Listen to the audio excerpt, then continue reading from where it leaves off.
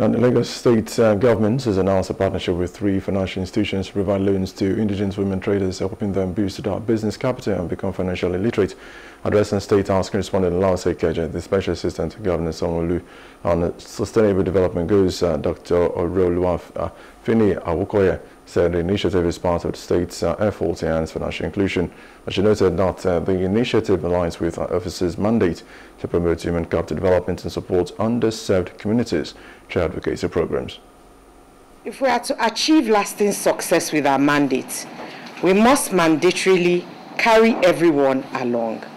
In context, Joyce Banda, Malawi's former president, once made a remarkable statement. When you empower a woman, you empower the whole world. And this is the glaring reality which we live in today.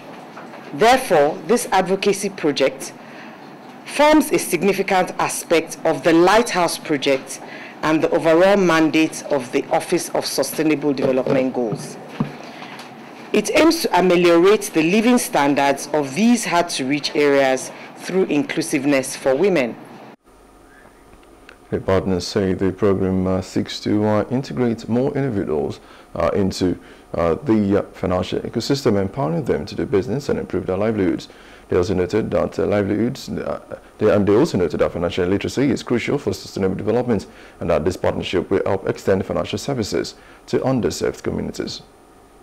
By fostering financial literacy, we aim to reduce the barriers to economic participation and enable long-term wealth creation for individuals and their family. I must say at this point that I'm personally attached to this initi initiative because I lost my mother at my birth. And anything that concerns women, I'm really, really passionate about it. All our transactions are carried out online making investments not only easy, but also seamless for every user.